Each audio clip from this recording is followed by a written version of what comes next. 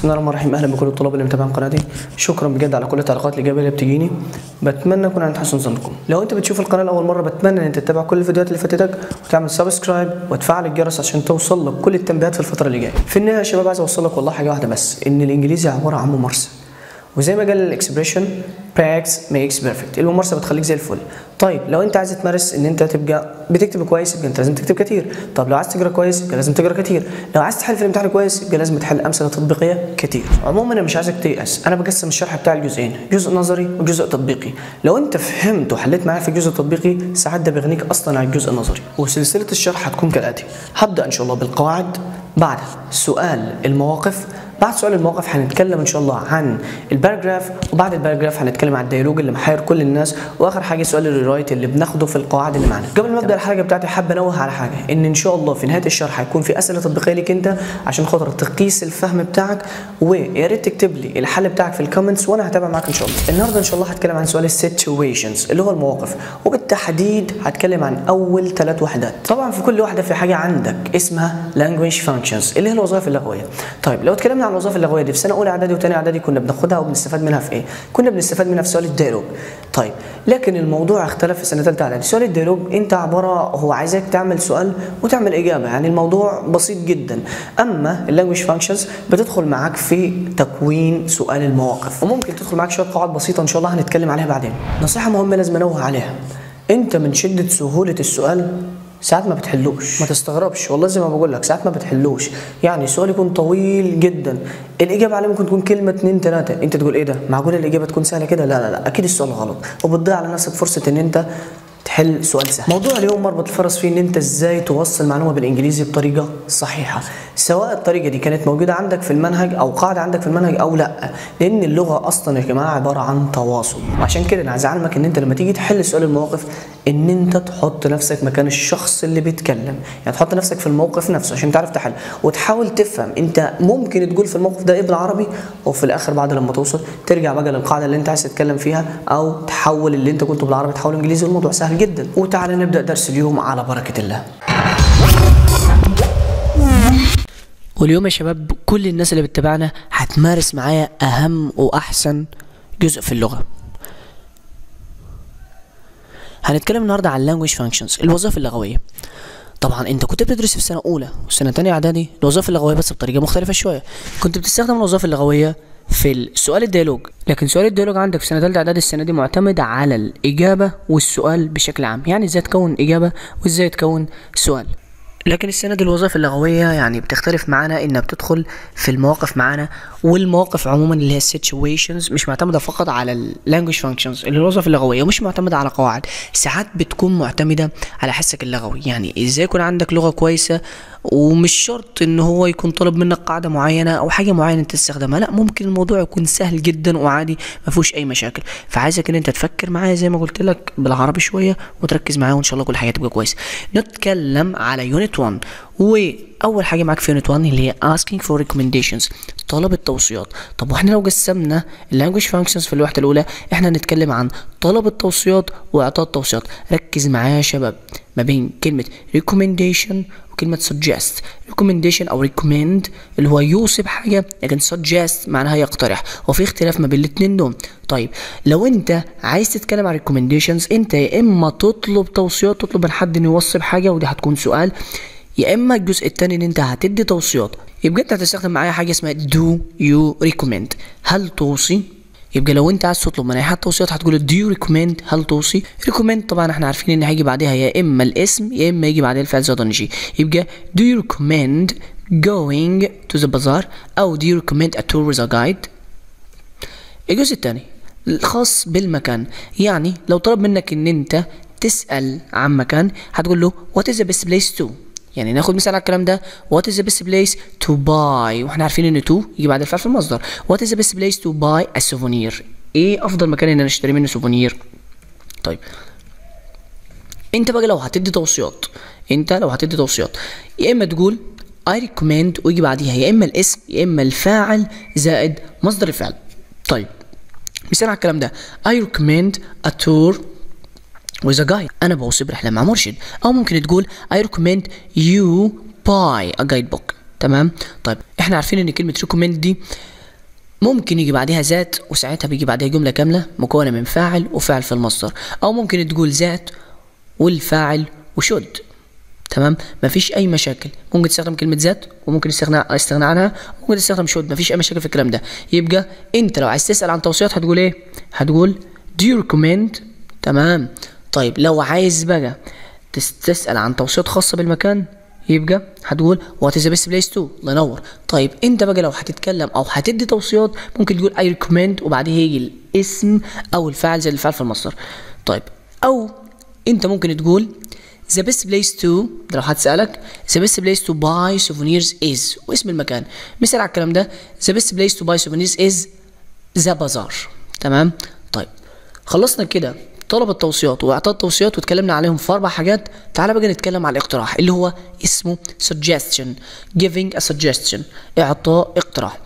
انت هتستخدم ثلاث حاجات وأسهل ثلاث حاجات في إعطاء الاقتراح. أول حاجة معانا اللي هي let's. أول حاجة معانا اللي هي إيه؟ let's. مثال على كده. let's visit the old parts of the town. يلا بينا نزور الم- المناطق الإيه؟ أو الأجزاء القريبه من المدينة.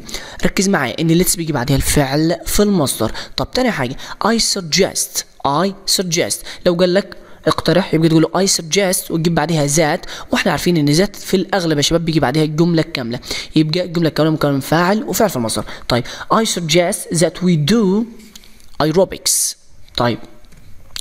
تالت حاجة معانا why don't we why don't we وكذلك يجي بعدها الفعل في المصدر. يبقى why don't we play soccer why don't we play football. Why don't we play volleyball? يبقى لو انت هتتكلم عن الاقتراح هتتكلم عنه في ثلاث حاجات. يا إما تقول let's يا إما I that يا إما تقول why don't we. طيب لو هتتكلم عن طلب التوصيات هتقول إيه بقى؟ Do you recommend أو هتقول what is the best place to. طيب لو انت بقى هتدي توصيات هتقول I recommend يا هتقول the best place to خلاص هنتكلم عن الحاجات دي بالتفصيل في الأمثلة اللي جاية. ركز معايا. لو حد قال لك اقترح حاجة انت عارف انت هتستخدم إيه الثلاث حاجات اللي أنا قلت لك عليهم. طب لو حد اقترح عليك حاجة وانت موافق يا اما هتقول له that's a good idea That's a good idea دي فكرة عظيمة أو ممكن تقول It's a great idea خلاص أنت لو موافق على الحاجة دي بتقول That's a good idea It's a great idea طب لو أنت رافض الحاجة دي ممكن تقول إيه؟ ها حد عارف؟ طيب أنا هقول ممكن I'm sorry أنا آسف والله I'm busy. أنا مشغول. أو ممكن تقول I'm sorry. I can't. أنا ما أقدرش because وتجيب الجملة بتاعتك كاملة. خلاص؟ يبقى I'm sorry. I'm busy. مشغول. I'm sorry. I can't because وتجيب الجملة بتاعتك. تمام؟ يبقى اتكلمنا على الثلاث حاجات دول. تعالى بقى نتكلم على الأمثلة بتاعتهم. Write what would you say in each of the following situations? أول مثال بيقول لك your friend. ترجم معاه بالراحة. Your friend wants you to recommend a good place to visit. آه صديقك عايز منك إن أنت توصي له مكان كويس عشان إيه؟ عشان يزوره يبقى هتقول له إيه؟ ها؟ التوصية بقى أنت اللي هتوصي هنا. يبقى هتستخدم حاجتين. قلنا يا I recommend يا إما تقول the best place طب هنا حاجة خاصة بالمكان. يبقى تقول له إيه بقى؟ the best place to visit تمام؟ the best place to visit أفضل مكان أنت تزوره. ها مين بالظبط؟ أي حاجة أنت عايز تقولها بقى. طيب المثال اللي بعده. قال لك you suggest going to the park. أنت بتقترح إن أنت تذهب للحديقة. ركز معايا يا شباب. أنا عايزك تركز ما بين كلمة recommend اللي هو يوصي وكلمة suggest اللي هو يقترح الاقتراح ثلاث حاجات. طيب أنت بقى لو واحد قال لك اقترح بقى إن أنت تروح الحديقة يبقى هتقول حاجة من الثلاثة دول. يا إما تقول let's يا إما تقول why don't we يا إما تقول I suggest that. طيب هنقول إيه هنا؟ هنقول let's go to the park. إحنا عارفين اللي بيجي بعد منفعل في المصدر. let's go to the park. يلا بينا نروح الحديقة. طب مثال تاني. Your friend asks you about the best place to buy souvenirs. آه صديقك بيسألك أنت بقى بيسألك إيه أفضل مكان إن أنت تشتري منه souvenir طيب يبقى هتقول له بقى إيه؟ ها أفضل مكان إن أنت تشتري souvenir هو كذا. يبقى إيه بقى؟ بالعربي.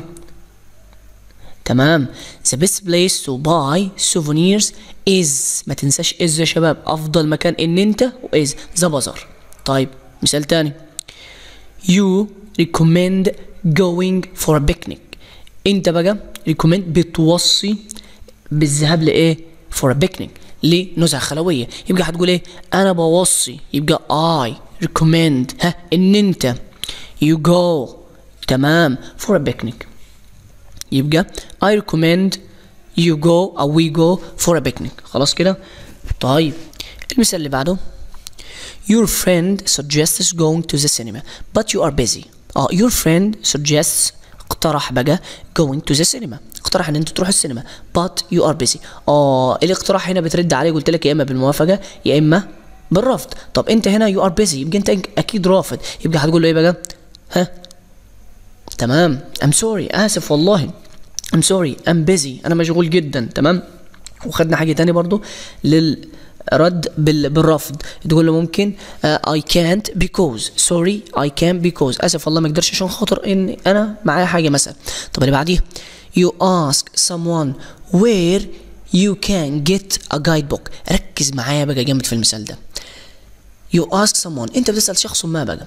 Where you can get فين أنت تقدر تحصل على a guidebook تحصل على guidebook. كتاب ارشادي طيب يا شباب إحنا اتكلمنا إن لو أنت عايز تسأل عن توصيات بقى فين للمكان هتقول what is the best place? لا هنا بقى هنستخدم expression غيره شوية خدناه في الكتاب اللي هو هم، is there هل هناك مكان جيد لكي أحصل على على جايد بوك يبقى هتقول is there a good place to get تمام؟ يبقى is there a good place to get a guidebook هو في في المك... هو في هنا مكان كويس عشان أحصل على guidebook طيب.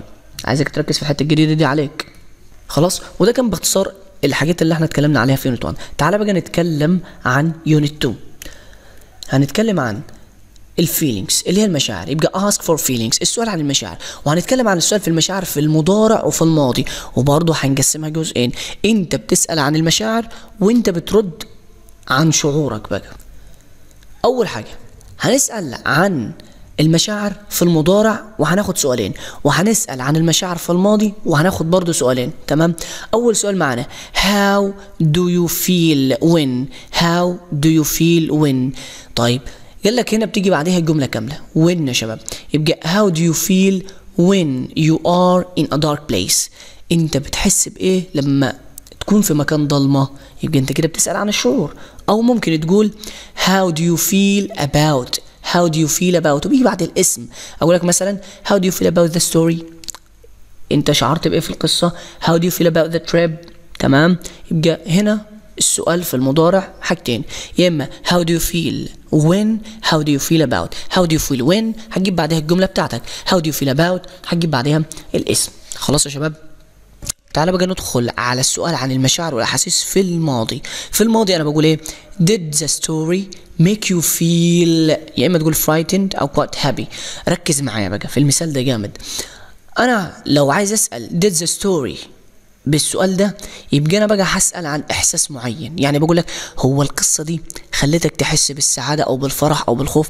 يبقى أنا عارف الإحساس وبسأل عن إحساس معين. يعني مثلا لو قلت لك اسأل صاحبك أو صديقك هل هو شعر بالخوف أو بالسعادة؟ يبقى أنا حددت لك هنا الإحساس. يبقى أقول لك أنت لما تيجي تستخدمها تقول did the اسم الحاجة بقى the story مثلا the film أي حاجة. did the story make you feel وتجيب الإحساس بتاعك. لكن لو قلت لك how do you feel when أنا هنا بقى مش عارف الإحساس. أنا هنا مش عارف الإحساس. يبقى بسألك عن إحساسك عموما. يبقى how do you feel when you read روبنسون كروزو وأنا بقى قلت لك إن when بيجي بعديها الجملة بتاعتك. طيب يبقى لو عايز تسأل عن السؤال عن المشاعر والأحاسيس في المضارع والماضي في المضارع سؤالين. how do you feel when وأنت عارف اللي بيجي بعديها. how do you feel about وعارف اللي بيجي بعديها.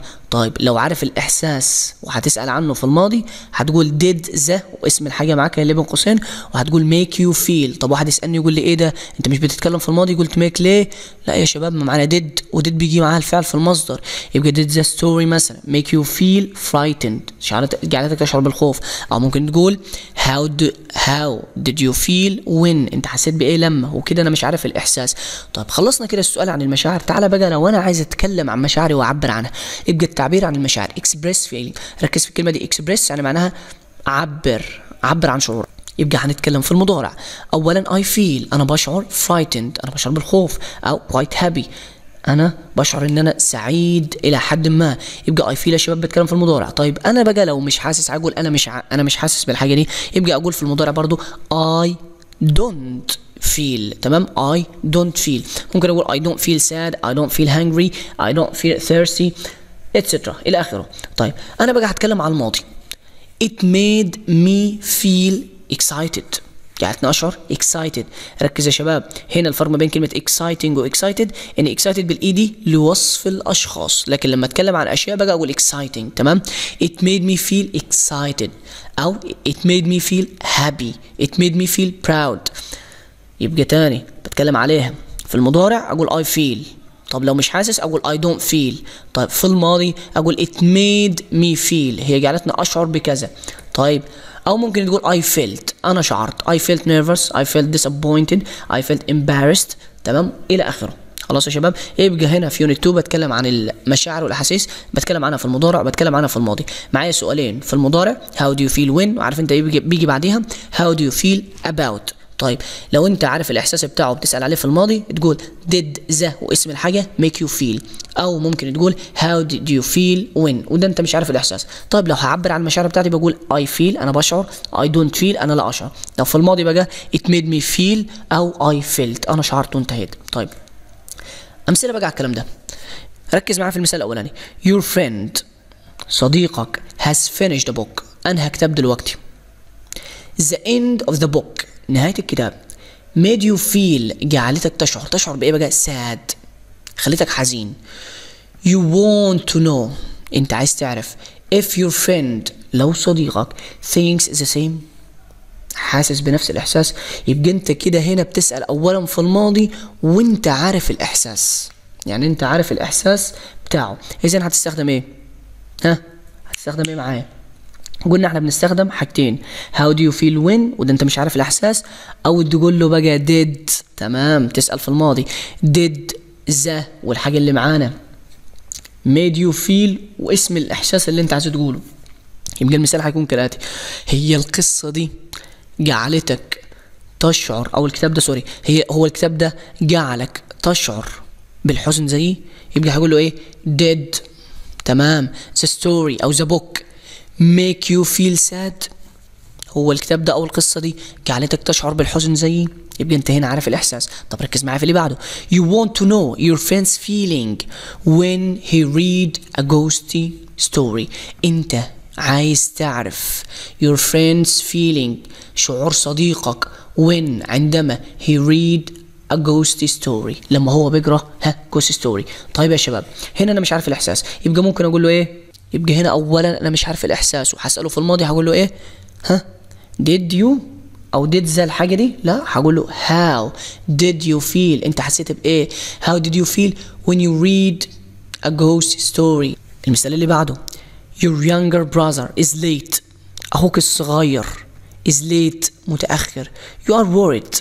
You are أنت قلقان يبقى أنت بقى هنا الموضوع بالعربي. هتقدر تقول إيه؟ ها؟ هتقول إيش خاطر نحول؟ هتقول أنا قلقان على أخويا الصغير تمام؟ يبقى هتتكلم في المضارع. يبقى اي إيه بقى؟ أنا حاسس. I feel تمام؟ I feel worried. أنا شعر اني قلقان about my brother. I feel worried about my brother. قلقان على أخويا. طب ركز معايا في المثال اللي بعده. Your friend asks about صديقك سأل عن your feeling شعورك towards yesterday's match. سأل سأل عن شعورك أو إحساسك بماتش امبارح. أنت حسيت بإيه؟ ماتش امبارح. طيب انت بقى بتتكلم في الماضي. هتقول إيه بقى؟ ها؟ It made me تمام. It made me feel. هو خلاني أشعر. أشعر بإيه بقى؟ أي حاجة انت عايز تقولها. يبقى it made me feel happy مثلا. خلاني أشعر بالسعادة والله. طيب you are happy when you watch a comic film. comic film خلاك سعيد وخلاك هابي يبقى انت هنا بتتكلم إن انت سعيد. قالك express your feeling. اوصف شعورك أو عبر عن شعورك. يبقى عايز تقول إيه؟ يبقى انت هنا بكل سهولة هتوصف شعورك يا شباب وتقول إيه؟ الفيلم خلاني سعيد خلاني أشعر بالسعادة. يبقى ده فيلم تمام؟ خلاني أشعر بالسعادة. يبقى made me feel. feel إيه بالظبط؟ happy. يبقى ده فيلم made me feel happy. الفيلم خلاني سعيد.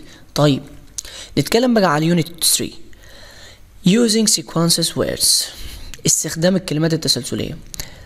أولا أنت عايز تستخدم الكلمات التسلسلية بتقول أولا وقبل كل شيء. يبقى first of all we clean our house. يبقى بتستخدم كلمة first of all يعني أولا. first of all. طيب. بعديها ممكن تقول next. next اللي هو التالي. first of all we clean our houses. next we decorate our homes. بعدين إحنا زينا المنازل بتاعتنا. الخطوة اللي بعديها ممكن تقول afterwards afterwards. ودايما يا شباب بتيجي في بداية الجملة التانية. يعني مثلا بتجيب جملة قبلها وهي بتكون بعد الجملة التانية.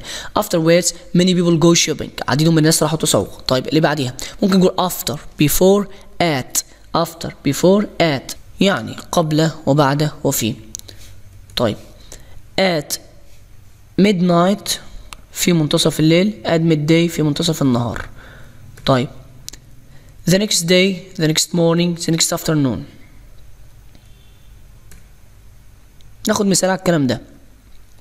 ماهر بيقول له إيه؟ What will you do after dinner هتعمل إيه بعد الايه بعد العشاء. قال له I will dress up. أنا هلبس afterwards وبعد ذلك I go to the festival. أنا هذهب للاحتفال. يبقى يا شباب لو طلب منك قالك مثلا الموضوع يعني سهل جدا. يعني ممكن يطلب منك قالك أنت بتعمل إيه في منتصف الليل مثلا أو أنت بتعمل إيه في منتصف النهار يوم السبت يوم الأحد يوم الاثنين طلب منك حاجة معينة.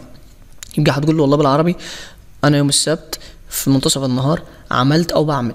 مفيش أي مشاكل في الموضوع ده. طيب أمثلة على الكلام ده؟ بيقول لك إيه؟ You tell a friend what you did last Saturday at midnight. والله انت هتخبر صديقك انت عملت إيه last Saturday at midday. انت عملت إيه في الميد في منتصف النهار. يبقى هتقول له والله العظيم يوم السبت في منتصف النهار أنا عملت. خلاص كده؟ يبقى مثلا مثال. يوم السبت last Saturday في منتصف النهار at midday أنا عملت. I مثلا I went أنا رحت. يبقى last Saturday at midday I went to my friend. أنا ذهبت لصديقي. طب مثال تاني. A friend asks you سألك. What you do before and after dinner بتعمل إيه؟ قبل وبعد الإيه؟ الدينر. يبقى هتقول له كده بكل سهولة. قبل وبعد العشاء أنا بعمل حاجة. يبقى إيه؟ Before and after dinner الحاجة اللي بعملها على طول؟ I wash my hands. يبقى before and after dinner I wash my hands. قبل وبعد الايه؟ بعد ال- ال- العشاء. أنا بغسل يدي. المثال ده. You want to tell a friend. أنت عايز تقول لصديق what you will do. أنت هتعمل إيه؟ First أول حاجة. on شم النسيم في شم النسيم. يبقى هتقول له والله اولا وقبل كل شيء في شم النسيم أنا هعمل يبقى اولا وقبل شيء اللي هي إيه؟ First of all الله ينور. يبقى first of all I will I will eat eggs with my friends. أول حاجة هعملها إن أنا إن شاء الله هاكل إيه؟ هاكل بيض مع أصدقائي. طيب المثال اللي جاي. A friend asks you زميل سألك what you do أنت عملت؟ After you decorate your home. عايز يعرف الصديق ده انت عملت إيه بعد لما زينت المنزل؟ يبقى هتقول له اولا أنا زينت المنزل أو أنا زينت المنزل وبعد ذلك عملت الحاجة التانية. تمام؟ يبقى قلت لك الجملة الأولى بعديها afterwards بعديها تكمل. يبقى I decorate my home. afterwards we go shopping. بعد كده إحنا رحنا إيه؟ التسوق. إن شاء الله أنا هفضل أمرن فيك في السؤال situations لغاية لما تبقى حاجة كويسة فيه. بس اللي أنا عايز أقول لك عليه إن أنت مش لازم تلتزم بقاعدة. أنت موضوع إن أنت تحط نفسك مكان المتكلم وتتكلم بالنيابة عنه. إن شاء الله كده. خدنا أول ثلاث وحدات وإن شاء الله هنكمل على باقي الوحدات. تمام؟ في اختبار كده بسيط أنا عايزك تركز لي فيه وتكتبه لي وتحله لي في الكومنتس من تحت وإن شاء الله كده أنا أصححه لك. أول مثال بيقول لك إيه؟ You see people throw rubbish in the street. Giving advice. اديهم نصيحة. شوف أنت بقى هتترجم وهتعمل إيه وهتنصحهم إزاي. المثال اللي بعده. A friend asks you to go to the club this weekend. صاحبك طلب منك إن تروح معاه النادي ده في نهاية الأسبوع. You would love to go.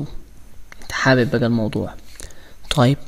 You ask your friend to recommend you a place to buy souvenirs.